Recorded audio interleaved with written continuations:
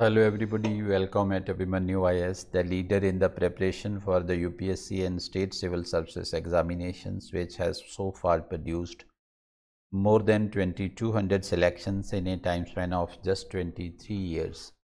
मेरा नाम doctor H S Sidhu है मैं अभिमन्यु आई में Indian economy and international relations teach करता हूँ I have been mentoring the civil services aspirants for more than 15 years and I have authored many books also for the preparation of the UPSC and state civil services examinations. So DTAA double taxation avoidance agreement तो आज ये topic जो Indian economy से related है या जो economy से related है वीकेंड से तो ये टॉपिक आज हम कॉन्सेप्ट सीरीज़ में डिस्कस करने जा रहे हैं So before moving ahead, let me share an important piece of information with you. At Abhimanyu IS, we are conducting fresh batches for the preparation of the UPSC and state civil services examinations for prelims and mains targeting 2023 and uh, 24 and uh, this will be a one year course which will be available through offline and uh, online mode if you want to join you may click on the link given in the description and if anybody wants to join specifically this module of Indian economy so you can do so also by clicking on the link given in the description and I will provide the free classes for uh, some some free demo classes for Indian economy module also. So let us uh, start our discussion. Okay, so ये जो double taxation avoidance agreement है, पहले हम थोड़ा इसको एक general तरीके से हम समझ लेते हैं। लेट सपोज़ दो कंट्रीज़ हैं ए एंड बी एंड एक कोई पर्सन है एक्स वो ए कंट्री का रेजिडेंट है, लेकिन वो बी कंट्री के अंदर काम करता है या बी कंट्री के अंदर उसका सोर्स ऑफ़ इनकम है। बी कंट्री में से वो अपनी इनकम जनरेट करता है so then according to the income tax laws of the countries so he will be liable to pay tax in both country B where the source of income lies as well as in country A of which he is a resident. So that means uh, that person will have to pay the double tax. Okay, so one is uh, you can say this uh, in the country where the source of income lies and the second is in the country of which he is a resident okay so that means uh, अगर अगर फिर ऐसा होगा तो जो भी person assessee है जो पर्सन कर देने वाला है टैक्स पेयर है तो that person will suffer okay उसका नुकसान होगा क्योंकि उसको दो दो दो जगह पे टैक्स देना पड़ेगा। तो ऐसी जो फिर चीज़ है जहाँ जो ऐसा अरेंजमेंट है तो this will you can say demotivate the person from investing somewhere else और from doing business somewhere else because उसको डबल टैक्स पे करना पड़ेगा। तो फिर इस चीज़ को एड्रेस करने के लिए जो डी टी ए ए है that is the double taxation avoidance agreement दो कंट्रीज़ साइन कर लेते हैं। जैसे हमने ए एंड बी की एग्जांपल ली थी तो लेटेस्ट सपोज़ के ए एंड बी दोनों कंट्रीज़ ने double taxation avoidance agreement sign कर लिया। तो according to this agreement if the source of income lies in country B and if that person X let suppose okay if he pays the tax in country B तो फिर क्या होगा? जितना उसने country B में tax दिया है you can से तो कंट्री ए में उसको उतने टैक्स का जो क्रेडिट मिल जाएगा, ओके? मीन्स उसकी जो टैक्स लेबिलिटी है, उतनी अमाउंट से कम हो जाएगी। एक तो ये अरेंजमेंट हो सकता है। दूसरा अरेंजमेंट क्या हो सकता है कि जिस इनकम के ऊपर उसने you can say B country के अंदर टैक्स दिया है, जहाँ उसका सोर्स ऑफ़ इनकम है तो वो वो इनकम है जो, वो ए कंट्री के अंदर टैक्सेबल नहीं रहेगी। ऐसा अरेंजमेंट भी हो सकता है। सो so ये जो डबल टैक्सेशन अवॉइडेंस एग्रीमेंट है। ये कॉम्प्रिहेंसिव अरेंजमेंट भी हो सकता है कॉम्प्रिहेंसिव एग्रीमेंट भी हो सकता है और ये लिमिटेड और रिस्ट्रिक्टेड एग्रीमेंट भी हो सकता है। तो चलिए ये सब चीज़ें हम इस टॉपिक के अंदर डिस्कस करते हैं। तो सबसे पहले what double taxation avoidance agreement क्या है? It is a tax treaty signed between two और मोर कंट्री एक टैक्स समझौता है जो दो, जो जो दो या दो से ज़्यादा कंट्रीज़ के बीच में साइन होता है to help tax payers avoid double taxes on the same income इसका पर्पज़ क्या होता है? कि जो टैक्स पेयर्स हैं, उनको सेम इनकम्स के ऊपर डबल टैक्स ना पे करना पड़े।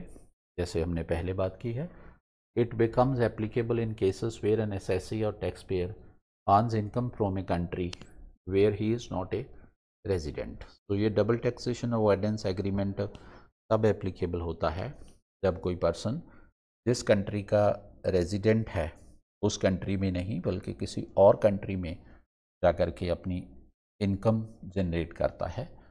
सो तब ये एप्लीकेबल होता है।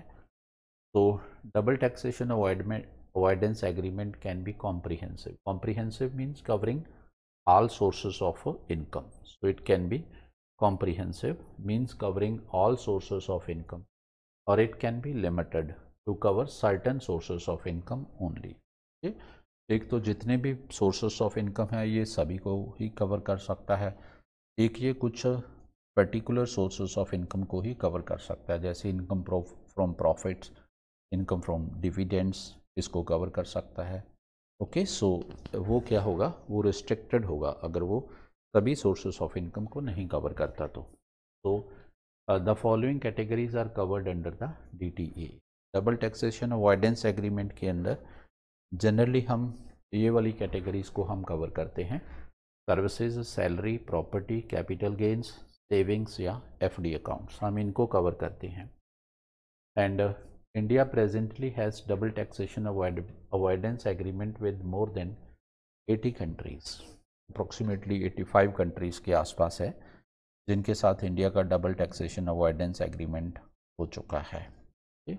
जैसे अगर हम हमारे पड़ोस की बात करते हैं तो बांग्लादेश है। बांग्लादेश के हमारा, बांग्लादेश के साथ हमारा जो एग्रीमेंट है that is the comprehensive agreement जो हमने अभी बात की। और अगर हम अफ़गानिस्तान की बात करें तो अफ़गानिस्तान के साथ हमारा लिमिटेड एग्रीमेंट है। ओके तो some of the countries with which India has comprehensive arrangements are Australia Canada UAE Germany Mauritius Singapore UK US and मैंने बांग्लादेश भी आपको बताया है। सो so, और भी ऐसे कंट्रीज़ हैं। तो then what are the legal provisions as far as India is concern India का जो इनकम टैक्स एक्ट है 1961 उसके अंदर दो सेक्शंस हैं। Section 90 and 91 These two sections deal with the double taxation avoidance okay, or uh, with the subject of the double taxation. Okay. So, uh, these offer specific relief to taxpayers to avoid the double taxation. Section 90 deals with those provisions involving taxpayers uh, who have paid tax to another country with which India has a double taxation avoidance agreement. So, section 90 has a वो specifically particularly deal करता है okay तो उन tax payers को okay जिन tax payers ने उन countries में टैक्स पे किया है, जिन कंट्रीज़ के साथ इंडिया का double taxation avoidance agreement sign हुआ है। लेकिन सेक्शन 91 है, ये उन कंट्रीज़ में अगर किसी ने अपनी इनकम जनरेट की है, उनका सोर्स ऑफ़ इनकम किसी ऐसे कंट्री में है जिसके साथ इंडिया का डबल टैक्सेशन अवॉइडेंस एग्रीमेंट नहीं है तो उनको रिलीफ की बात करता है जो सेक्शन 91 है of income tax act of India. तो एडवांटेज क्या है डबल टैक्सेशन अवॉइडेंस एग्रीमेंट का? पहला एडवांटेज ये रहेगा the countries under the double taxation avoidance agreement are provided relief from double taxation so it means जो भी countries under the double taxation avoidance agreement के अंडर uh, uh, या जिन countries के बीच में डबल टैक्सेशन अवॉइडेंस एग्रीमेंट हो चुका है तो वहाँ डबल टैक्सेशन का रिलीफ देते हैं वो कंट्रीज़ अब असेसीज को relief from double taxation is provided by the exemption of income and abroad वही बात जो पहले मैंने आपको बताई है या तो जो इनकम आपने अब्रॉड से अर्न की है उसकी एग्जाम्पन दे देते हैं। रेजिडेंट कंट्री में okay the resident country. Or by providing credit to the uh, extent of taxes that have been already uh, paid abroad.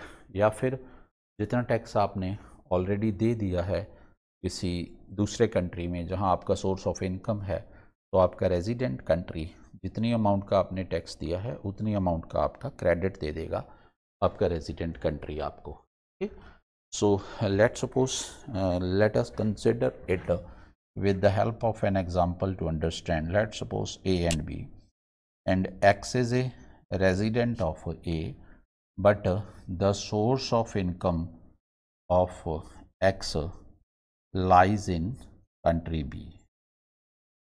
Okay, so let's suppose uh, X country B से अपनी income earn करता है उसका source of income B में लाई करता है तो B country में उसकी जो इनकम है let suppose that is I and जो उसने टैक्स पे किया है let suppose that is T तो अब दो अरेंजमेंट होंगे कि ए जो एक्स का रेजिडेंट कंट्री है, वहाँ या तो ये आई अमाउंट ऑफ़ इनकम है जो, ये इनकम ए कंट्री में नॉन टैक्सेबल हो जाएगी। एक तो अरेंजमेंट ये हो सकता है। दूसरा ये हो सकता है कि ये इनकम तो नॉन टैक्सेबल नहीं होगी बट यस उसने टी टैक्स दिया है तो जितनी उसकी टोटल टैक्स लेबिलिटी ए की सॉरी एक्स की अपने रेजिडेंट कंट्री ए में बनती है लेट सपोज़ वो एल है तो एल में से टी टैक्स उसने ऑलरेडी पे कर दिया है जो दूसरे कंट्री को, जहाँ उसका सोर्स ऑफ़ इनकम है तो ए कंट्री में उसकी टैक्स लेबिलिटी कितनी रहेगी? एल माइनस टी सो ऐसा अरेंजमेंट होता है and next is in some cases the double taxation avoidance agreement also provides concessional rate of tax कुछ केसेस में ऐसा भी होता है कि जो डबल टैक्सेशन अवॉइडेंस एग्रीमेंट है ओके okay, उसके अंडर जो टैक्स तो लगता है बट टैक्स का कंसेशनल रेट रहता है। जैसे अगर हम एन आर आई डिपॉजिट्स की बात करें जो एन आर आईज हैं अगर वो इंडिया में मनी डिपॉजिट करते हैं अपना तो उनको क्योंकि अपनी उनकी इनकम तो बाहर जनरेट होती है आउट ऑफ़ इंडिया तो वहाँ भी उनको टैक्स देना पड़ेगा। बट अगर वो इनकम अगर वो उस मनी को इंडिया में डिपॉजिट करते हैं तो फिर उनका जो इंटरेस्ट इनकम है, वो इंडिया में जनरेट होगी। तो वो दैट इज़ वाई फिर इंडिया ने क्या रखा है? अदरवाइज़ तो जो इंटरेस्ट इनकम के ऊपर, थर्टी परसेंट जो जो एनआरआई का डिपॉजिट है, उसकी इंटरेस्ट इनकम के ऊपर थर्टी परसेंट टैक्स लगता है।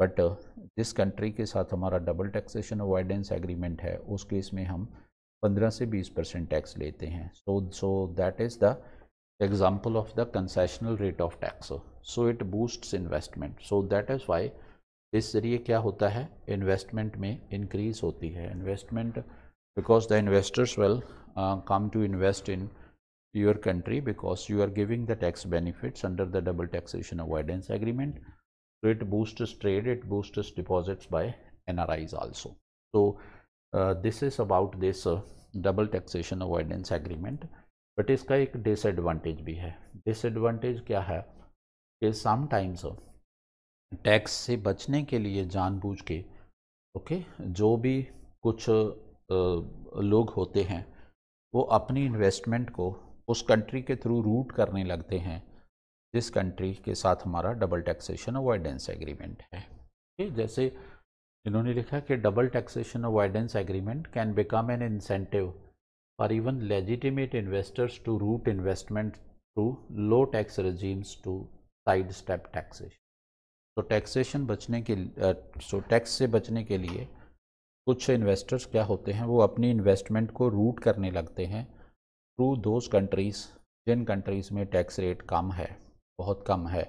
तो जैसे हम एग्जांपल मॉरिशियस की लेते हैं, बहुत सारे जो लेजिस जो लेजिटिमेट इन्वेस्टर्स हैं जेनुअन इन्वेस्टर्स हैं, वो कई बार इंडिया में अपनी इन्वेस्टमेंट को थ्रू मोरिशियस रूट कर लेते हैं to avoid the liability of the tax तो this leads to a loss of tax revenue for the country तो इससे क्या होता है?